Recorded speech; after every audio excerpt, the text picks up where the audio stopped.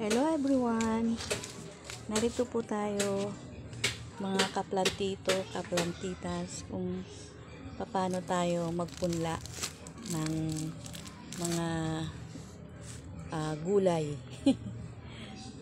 subukan subukan po natin paano ah, magpunla ng ah, meron tayo ritong ah, buto ng ah, talong meron tayong buto ng sili. Siling pansiga pangsigang. Meron din tayong cucumber seed then buto ng okra buto ng siling labuyo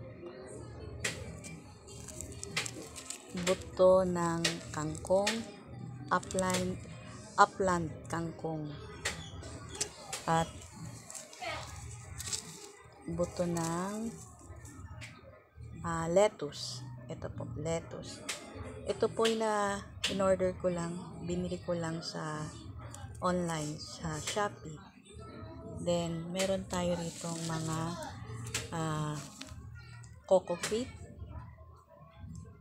ihahalo natin ito sa soil meron din tayong inuling na ipa carbonized rice hull at meron tayong vermicast ah, fertilizer din to.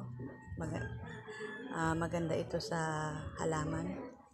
At meron din tayong ah, pangpabunga Ah, sa pangalan nito ayan urea. At meron tayong soil. Ah, ito rin ay binili ko rin. Ayan ito. Galing ito sa salon. Yan so start mag-start po tayo kung paano muna i-mix ang ating ah, soil soil mix.